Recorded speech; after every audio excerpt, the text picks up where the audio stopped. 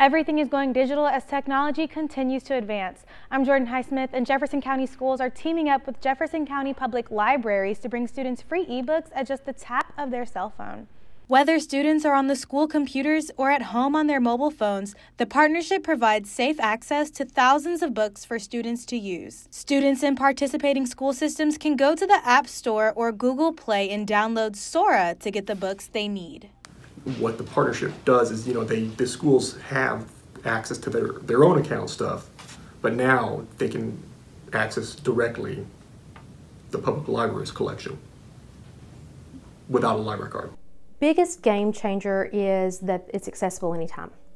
So there's never a moment that if you needed that and went out there to find something that it's not going to be open or the librarian's not there or something, it's always accessible. Now three schools in the system are already using the program. They're hoping more schools will join in. In the newsroom, I'm Jordan Highsmith, CBS 42 News, local coverage you can count on.